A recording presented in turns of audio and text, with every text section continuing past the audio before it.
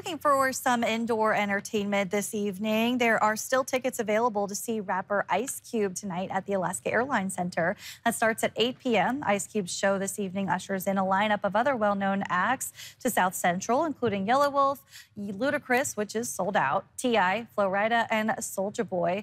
John Dyson, the general manager of the Alaska Airlines Center, said as of Monday, about 3,500 Ice Cube tickets have been sold. More information on these upcoming concerts can be found on alaskasnewssource.com.